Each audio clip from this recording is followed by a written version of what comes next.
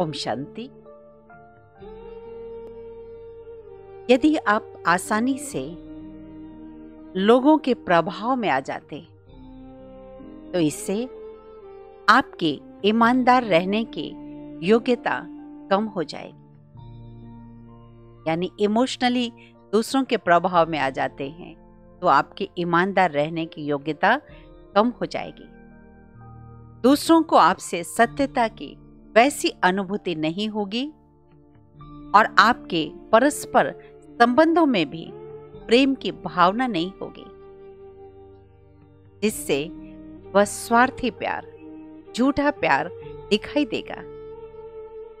यद्यपि ऐसा झूठा प्यार बिल्कुल प्यार न होने से बेहतर है, क्योंकि इससे कम से कम इतना तो सुनिश्चित होता है कि आप बिल्कुल सूखे नहीं हैं। यद्यपि स्पष्ट है कि यह सच्चा प्यार नहीं है।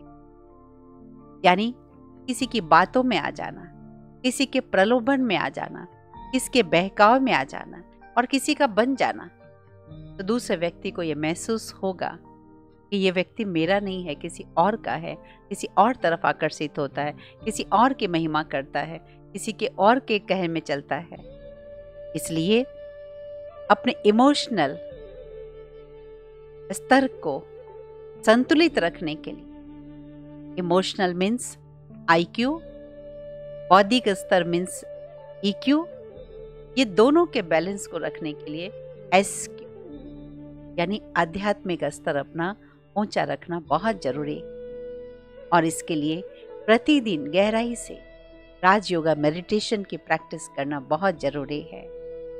प्रजापिता ब्रह्मा कुमार ईश्वर विश्वविद्यालय द्वारा कराए जा रहे राजयोग के सेवन डेज़ कोर्स को करके आप इन सभी बातों की गहराई को जान सकते ओम शांति बहुत बहुत शुभ।